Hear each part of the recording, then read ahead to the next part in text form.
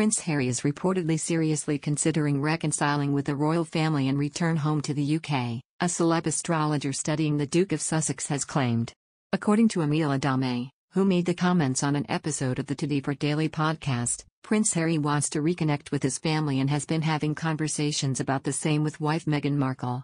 Adame stated, I feel that he's actively trying right now. Whether or not it will be well received, whether or not it will amount to anything in the future. I can't really see that at this moment. The astrologer then detailed how the Duke of Sussex has been having marital issues because of this issue, as his wife Meghan believes she doesn't belong with his family, making the conversation sensitive. The conversations are part of their issue that they're having personally together, Adame claimed. She added, Of course, he loves his wife and his kids and his heart is with them too. But he is having some regret right now with the way that things were handled. Prince Harry and Meghan moved away from the UK and their royal duties in 2020, with Harry only returning home twice since and Meghan, never. In other news, Harry shared a close bond with his late grandfather the Duke of Edinburgh, who died almost one year ago. Both men also proudly served in the military. Philip served in the Royal Navy in his youth and undertook service in the Mediterranean and Pacific during World War II. He was also mentioned in dispatches for his service during the Battle of Cape Matapan, in which he manned his battleship's searchlights. The Duke was later given honorary roles with the Fleet and Royal Marines. While his grandson Harry served in the Army for 10 years, rising to the rank of captain. During his military career, the Duke of Sussex, 37, undertook two tours of Afghanistan.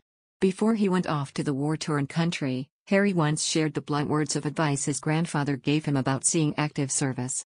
He said the late Philip was very matter-of-fact during their conversation before he departed. In the documentary Prince Philip, the royal family remembers, Harry recalled that his granddad simply told him, make sure you come back alive. Harry told the documentary, going off to Afghanistan, he was very matter of fact and just said, make sure you come back alive. Then when I came back, there wasn't a deep level of discussion, more a case of, well, you made it. How was it? That's how he was. He was very much a listener, he sort of set the scene for you to be able to share as much as you wanted to share, but he would never probe. Since quitting royal duties and moving to America in 2020, Prince Harry has only returned to the UK on two occasions and never with his family in tow. Last year, the Duke of Sussex returned to Britain to attend the funeral for the late Duke of Edinburgh in April. His grandfather's funeral was restricted to close family and friends due to COVID restrictions in place at the time. Just 30 guests attended the somber occasion. Following the Duke of Edinburgh's funeral, Harry is understood to have returned to Frogmore Cottage, the property he and wife Meghan were gifted by the Queen following their 2018 wedding.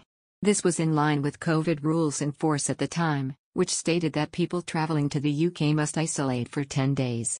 It is understood that he was allowed to attend the funeral on compassionate grounds, but the rules stated he must remain in isolation at all other times. However, the Duke of Sussex did not make a trip back to the UK to attend Philip's memorial service last week. This made him the Duke of Edinburgh's only grandchild not to be in attendance.